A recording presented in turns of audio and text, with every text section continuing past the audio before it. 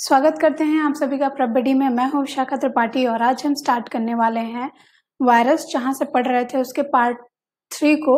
तो आज हम शुरू करेंगे पार्ट नंबर थ्री और उसमें हम देखेंगे कि वायरस कैसे इफ़ेक्ट करता है, कितने टाइप्स होते हैं और उनका कंट्रोल मेजर क्या होता है। तो आइए देखते हैं।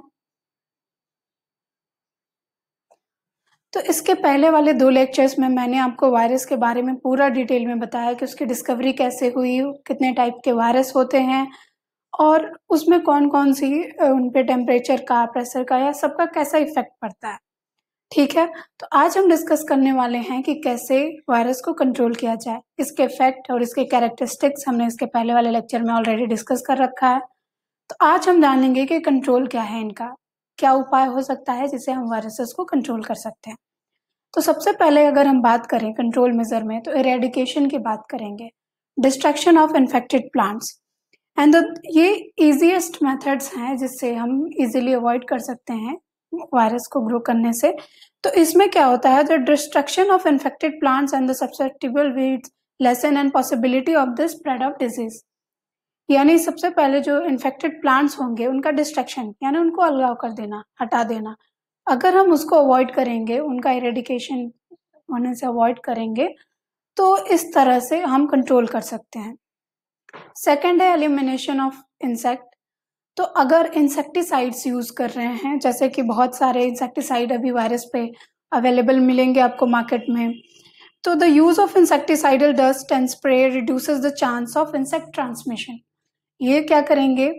ये रिड्यूस करेंगे चांसेस को। इंसेक्टिसाइड्स इसीलिए यूज़ किए जा रहे हैं अभी के फार्मिंग्स में या जिसमें भी। तो इस तरह से ये एलिमिनेट करते हैं चीज़ों को, ठीक है? Then the selection of seed तो इसमें क्या होगा कि it should be made from each such fields which way be free from infection seeds of cucurbits sets of sugarcane tubers rhizomes bulbs should be carefully selected okay यानी जितने seed होते हैं cooker bits के sets के, ये सारी चीज़ों को बहुत सेलेक्टिवली आपको चूज़ करना होता है अपने फ़ील्ड के लिए। तो इस तरह से अगर आप एक अच्छे सीट का सिलेक्शन कर पाएँगे तो आप इससे कंट्रोल कर पाएँगे ओके आगे बढ़ते हैं। अब बात करेंगे रेजिस्टेंट वेराइटीज अब रेजिस्टेंट वेराइटीज क्या होती हैं?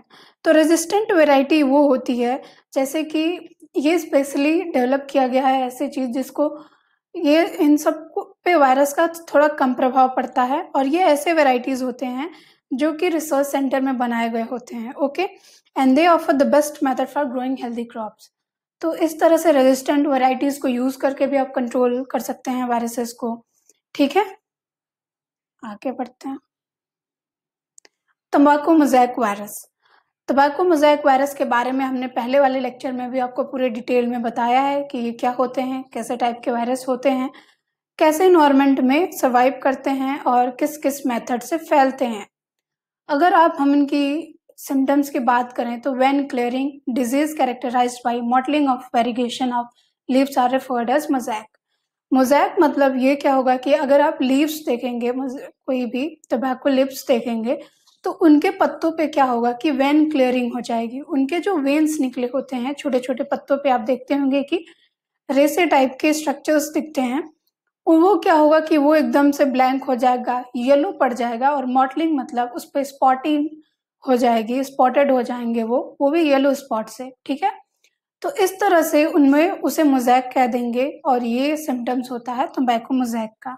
अचानक से उस पर वेन क्लियर हो जाएँगे सारे उसके वेन्स और उस पर मॉटलिंग आने लगेगी, जिससे हम पता लगा सकते हैं कि इसको तम्बैको हुआ है इस प्लांट को। ओके तो ये यंगर लीव्स पे होते हैं तम्बाकू प्लांट्स के अंदर वे Veins may show a clearing and later this may be followed by mottling. Okay. As the leaves enlarge abnormally, dark green spot appears which develop in an irregular crumbed blister area, while the remainder of the tissue become more and more karyotic plates and the stunt is the various degrees. Okay. तो ये जो disease होती है ये mottling simply इसी को कहते हैं वो एकदम से क्लीन और स्पॉटेड हो जाएगा तो इस तरह से पता करेंगे कि उसको टोबैको है ओके अब आगे देखते हैं। टोबैको मोजैक वायरस में वायरस अब वायरस में कौन से स्ट्रक्चर्स और उनके सब क्लासेस ये सारी चीज़ें क्या हैं? तो जो एक टिपिकल टोबैको मोजैक वायरस होता है, उसके बाद से टोबैको वायरस वन होता है देन टोबैको वायरस का जो फॉर्मूला होता है निकोटियाना वायरस वन ओके और इसमें फिर मार्मर टोबैको होम्स ने इनको दिया था ओके तो द रॉड फॉर्म होते हैं, ये इलेस्ट्रेट करते हैं by the tobacco mosaic container central core of foreign ने and this elongated rod is twisted into a spiral to form in gross form and hollow rod and the R N A core remain surrounded by a protein sheet okay जैसा कि मैंने आपको बताया कि are N का core वैसे भी protein seat से सराउंडेड होती है। आपको स्ट्रक्चर भी शो किया था अपने पहले वाले लेक्चर में। तो जो ये अंडर एक अप्रोप्रिएट कंडीशन में यहाँ पे जो वायरल पार्टिकल्स होंगे, उनको इंड्यूस्ड करके क्रिस्टलाइन स्ट्रक्चर फॉर्म किया जाता है और जिनका इंक्लूजन किया जाता है बॉडी में। The crystalline inclusion body of the tobacco mosaic is known as true virus particles okay तो इसका भी प्रॉपर फिगर है, हम आगे आपको डिस्कस करेंगे। तो ये इसके बारे में रहा। आगे देखते हैं। ट्रांसमिशन तो ट्रांसमिशन में क्या होगा कि workers in the tobacco field में carry TMB virus from plant to another plant simply transmission से आप जानते हैं कि अगर कोई भी बीमारी हो या कोई भी वायरस हो या जो भी हो, एक जगह से दूसरे जगह में ट्रांसफ़र ट्रांसफ़र होता है। तो इसी पूरे प्रोसेस में ट्रांसमिशन को इन्वॉल्व करते हैं ओके तो dish dissemination of TMB from plant to plant take place through mechanical transmission and the virus is so very infectious that this may be carried from one plant to another by almost and sort of contact. तो जो workers होते हैं, उनके contact से एक plant से दूसरे plant पर ट्रांसमिशन हो सकता है इजीली जैसा कि मैंने आपको पहले भी बताया था कि अगर एक इन्फेक्टेड प्लांट है और अगर कोई वर्कर है, उसे उसी हाथ से टच करके उसको अलग कर रहा है और फिर वही हाथ से एक हेल्दी प्लांट को टच करेगा तो जो हेल्दी प्लांट है, वो भी इन्फेक्टेड हो जाएगा। तो कुछ इस तरह से ट्रांसमिशन होगा तो मैकोमोजाइक वायरस का एक अनहेल्दी प्लांट से हेल्दी प्लांट पे। तो जो अनहेल्दी प्लांट से एक हेल्थ मतलब हेल्दी प्लांट है, उसको भी टीएमबी यानी वायरस अफेक्ट करेगा, हो जाएगा। तो इस तरह से इनका ट्रांसमिशन होता है। नेक्स्ट अब इसका कंट्रोल मेजर क्या है?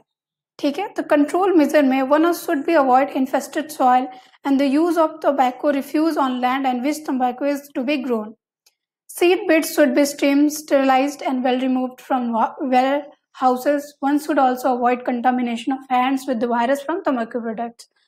तो इसका मतलब है कि अगर इन्फेस्टेड सॉइल है यानी जैसा कि मैंने आपको पहले बताया कि अगर हम पहले एक फ़ील्ड में एक अनहेल्दी प्लांट या जिसको वायरस है वैसा प्लांट को एक फ़ील्ड से हटाते हैं और उसमें उस फ़ील्ड उसी फ़ील्ड में एक हेल्दी प्लांट को भी लगा देते हैं तो अपने आप बीमार हो जाएगा ठीक है क्योंकि ये वायरस उसमें रहते हैं सॉयल से हटते नहीं हैं। और ऐसे ही हम अवॉइड कर सकते हैं सीड बीड्स के, को स्टीम स्टरलाइज करके, उस पर भाप पे उसको, हर सीड को चुन के उसको भाप पे थोड़ा गर्म करके वेयर हाउसेस से लाके फिर उसको लगाने से कंटामिनेशन को अवॉइड कर सकते हैं। और किसी भी तबाको प्रोडक्ट को छो के हेल्दी प्लांट्स को नहीं छूना चाहिए। इससे भी अगर आप इसे अवॉइड करेंगे तो भी आप कंट्रोल कर सकते हैं, ठीक है? नेक्स्ट है वायरस सिम्टम्स इन प्लांट्स तो vein clearing and vein banding vein clearing का हमने आपको पहले भी बताया कि this is the common appearance in the systematic infected leaves before mottle और मोजैक यानी कि जो स्पॉटलिंग हो जाती है, जो उस पर स्पॉटिंग हो जाती है स्पॉट उस पर येलो स्पॉट आ जाते हैं किसी भी टोबैको लीव्स पे उसे वेन क्लियरिंग कह देते हैं, ठीक है? और जो वेन बेंडिंग की बात करें तो it consist of a broader band of chlorosis okay और necrosis in the internal of parenchyma उसके पेरन कायमा में एक बैंड लाइक स्ट्रक्चर होगा, उससे वैन बैंडिंग कहेंगे ठीक है?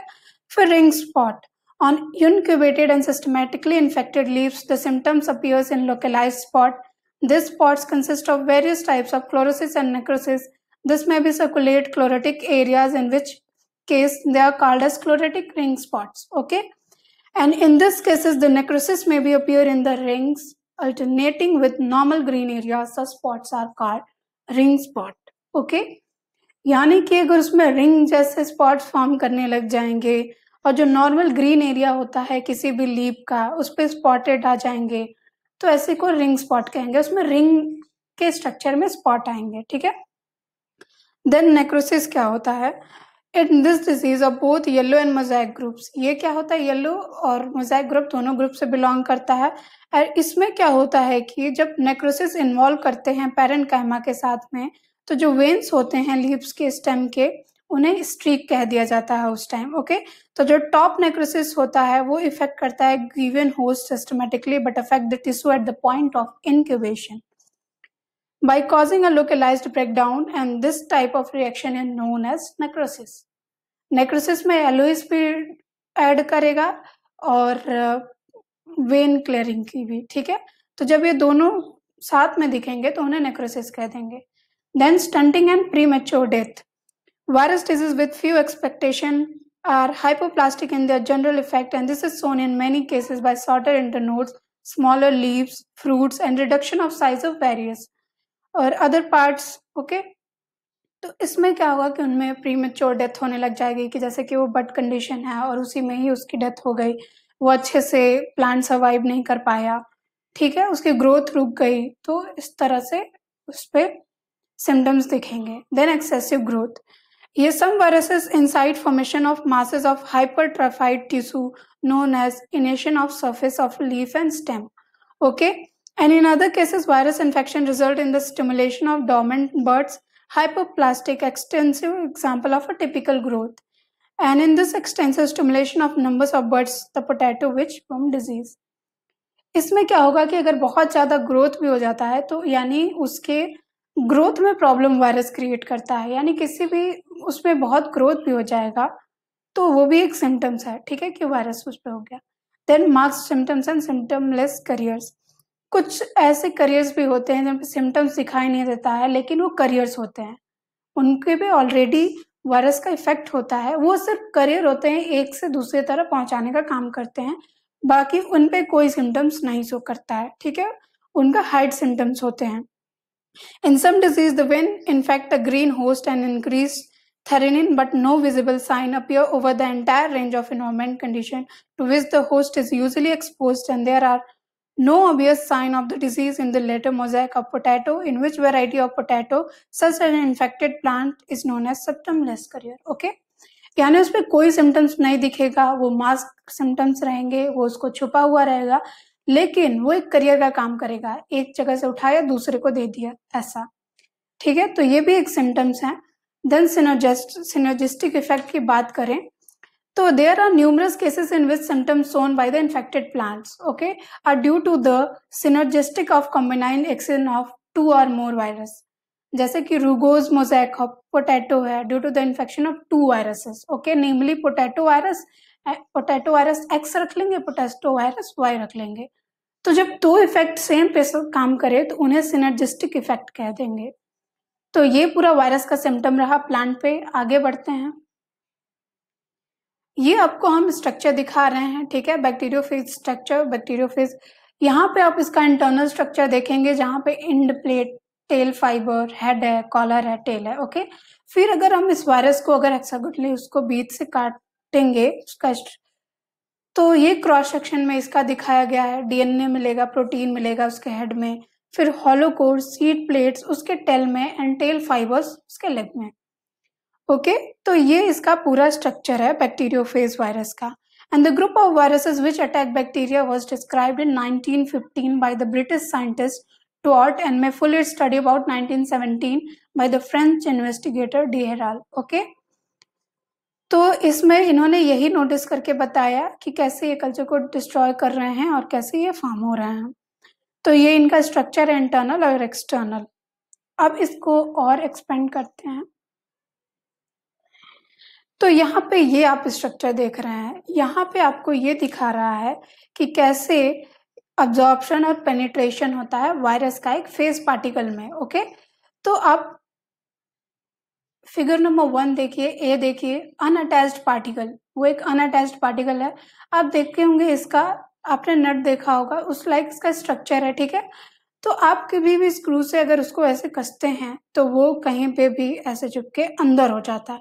ठीक ऐसा ही हम अगर वायरसेस की बात करें तो वो सबसे पहले उनके जो नीचे टेल्स होंगे या उनके लेग्स होंगे, उससे वो पहले पार्टिकल्स पे एक अटैच्ड होंगे।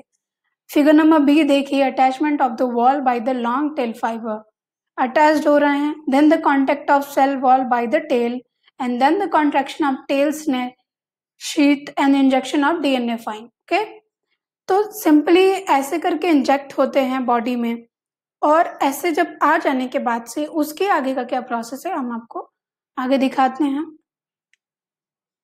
यहाँ पे देखिए, इस प्रोसेस में मल्टीप्लिकेशन में देखेंगे तो बैक्टीरियो बैक्टीरियोफेज मल्टीप्लिकेशन है entry of the nucleic acid into bacterial cells B synthesis of viral components in the cells and of bacterial cells and liberation of phage particle तो सिंपली जैसे ही virus को मैंने अभी इसके पहले वाले इमेज में दिखाया, कैसे वो आ रहा है बॉडी पे अटैक कर रहा है फिर वो फ़ेज़ पार्टिकल देखिए होस्ट पे ऐसे अटैक करेगा बैक्टीरियम पे।